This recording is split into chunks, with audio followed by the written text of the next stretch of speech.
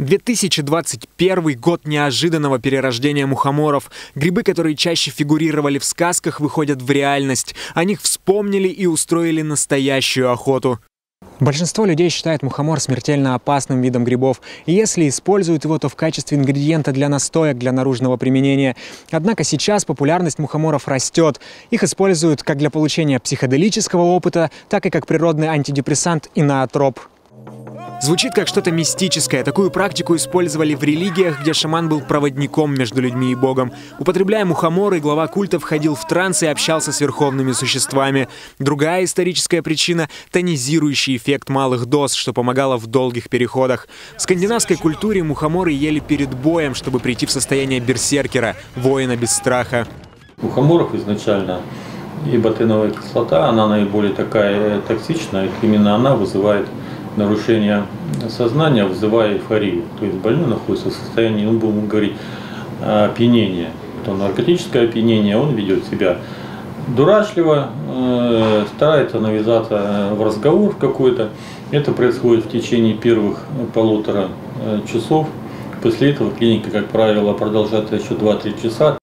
Сегодня их употребляют и школьники, и пожилые люди. Добыть мухоморы стало проще. Предложения есть на сайтах крупных интернет-магазинах, в сообществах в социальных сетях и на отдельных ресурсах, специализирующихся в основном на этом виде грибов. Легальность, невысокая цена и желание ощутить эффект на себе толкает многих людей на размещение интернет-заказа или самостоятельный поход в лес. Вообще это гриб, а, будем говорить, космополит. Он встречается везде по всему земному шару, ареал у него огромный.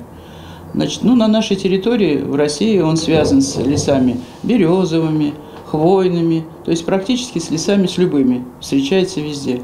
Ну вот э, довольно часто он встречается вместе с боровиком. Но несмотря на доступность, мухоморы необходимо еще и правильно приготовить, иначе экспериментатора ждет отравление. Мы не будем описывать рецептуру, чтобы не провоцировать потенциальных грибников, но малейшая ошибка может стать причиной посещения токсикологии.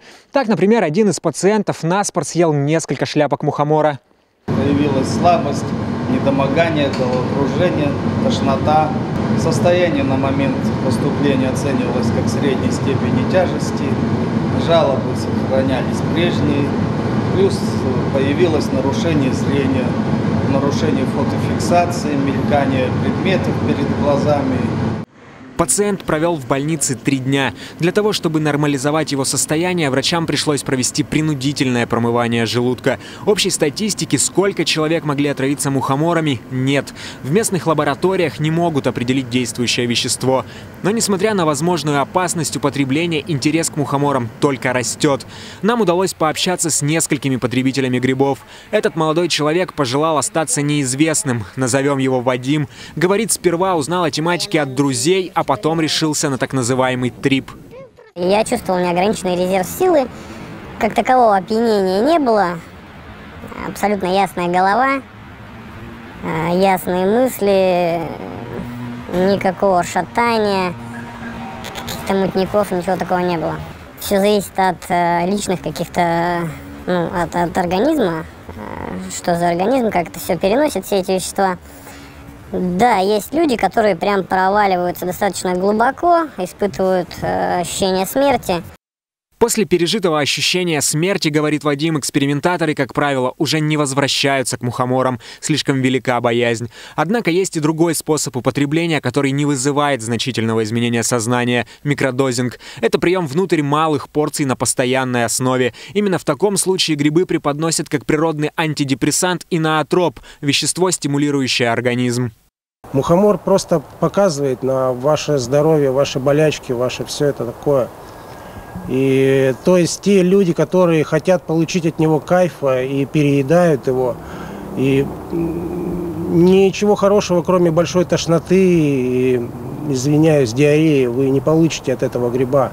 Он только его нужно принимать в правильных дозировках, и только тогда от него можно, э, какая-то польза может быть. Открыв для себя микродозинг 4 года назад, говорит Александр, он практически перестал болеть. В случаях редкой простуды выздоравливает без посещения врачей. Но психиатры и наркологи не согласны с грибниками. По их мнению, даже с минимальной дозировкой мухоморы могут привести к зависимости и необратимому поражению клеток мозга, вплоть до психиатрического диагноза. Как и любая другая зависимость, это, к сожалению, как правило, патологический замкнутый круг, который обрекает на для кого-то многолетнее, для кого-то краткосрочное Почему краткосрочное? Не с выходом в выздоровление, а, к сожалению, с выходом, опять же, в инвалидность, либо в летальность. В отзывах интернет-магазинов появляется все больше положительных комментариев. Кому-то мухоморы помогают бороться с бессонницей и утренней сонливостью, а для кого-то становятся средством для погружения в психоделическое пространство. Точно так же напополам делится и общественное мнение. Что это, легальный наркотик или забытое средство народной медицины? Вопрос остается открытым. Артем Гусельников, Дмитрий Денисов. День с толком.